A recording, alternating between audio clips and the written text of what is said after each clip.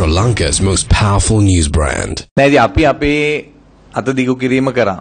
We have extended our arms. No one asked him to form new parties. The point to remember is that Mahinda Rajapaksa was a parliamentarian of the SLFP. If he becomes Prime Minister, that too will happen from the SLFP. From what I know, he is positive about working together. He likes to work together with President Maithripala Sirisena. There are two or three people who are against this.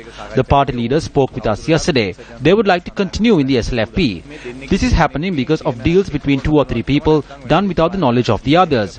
We took a decision yesterday. It will be prohibited to extend the support to any other candidate except for SLFP candidates in the upcoming elections. අ, තහනම් ශ්‍රී ලංකා නිදහස් පක්ෂය එක්සත් ජාති පක්ෂය එකතු වෙලා ප්‍රාදේශීය මැතිවරණයේදී දෙක තුනම තීරණය වෙන්න පුළුවන්. The parties might join. It cannot be said now. If they wanted to join, they could have. This was a result of division created by a small group of people. ඒගොල්ලෝ තමයි මේ බෙදීම සිද්ධ වෙන්නේ. පොහොට්ටුවෙනුත් නාම යෝජනා ඉදිරිපත් කරමින් කටයුතු කරන්න ශ්‍රී ලංකා නිදහස් පක්ෂයයි. නෑනේ ඒගොල්ලෝ පොහොට්ටුවනේ. කවුද කිව්වේ පොහොට්ටුව හදන්න? No. Who asked them to form a party? Who asked them to create the Flower Bud Party? If they are from the SLFP, they are from the SLFP. They cannot be in the Podujana Peramuna and remain in the SLFP. How did Ranil Wickremesinghe work in the past? If the person left and worked for another party, he was attacked. We did not do that. There was no disciplinary action. The president acted with tolerance, but he did not grant them the responsibility to create a new party.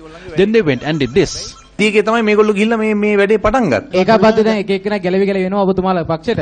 දැන් මේ ඉස්සරහට තව කවුරුවත් එනවද? තව තව එන්න ඉන්නවා දැන් There are more people. Wimal Weerawansa, Dinesh Gunawardena and Gammanpila did not attend the meeting in Badulla as far as I know. These party leaders did not attend that meeting. I will announce the names in the coming days. This Podujana party is a result of two people. It is them who do not want to join. It is not Mahinda Rajapaksa or Basil Rajapaksa. All we have to do is tell them they will have to live with the fact that they broke the party into two. මේ පක්ෂ විනාශ කිරීමේ පව් ටික කරගහන්න වෙයි කියලා තමයි මට කියන්නේ. ඒ දෙන්න පක්ෂෙම දෙන්නේ නැද්ද නැත්නම් එකතු වෙච්ච දෙන්නේ නැද්ද වෙන පක්ෂකින්? පක්ෂෙම අයිතිකාරයෝ තමයි අනාගතේ රජ වෙන්නේ. They are from the party. They are people who are to become enthroned in the future. They are of the opinion that if the party is divided in two, for about 20 years they will be able to resurrect the party again after 40 years or so. Namal Rajapaksa මන්ත්‍රීතුමාට මේ අවුරුදු 20ක් එකතු කරාම අවුරුදු 50ක් වෙනවා. මම දන්නේ කීයද කියලා. මොකද 19 වෙනි ආණ්ඩුවේ I do not know. With the age change from 30 to 35 in the 19th Amendment, people had a problem with that as well.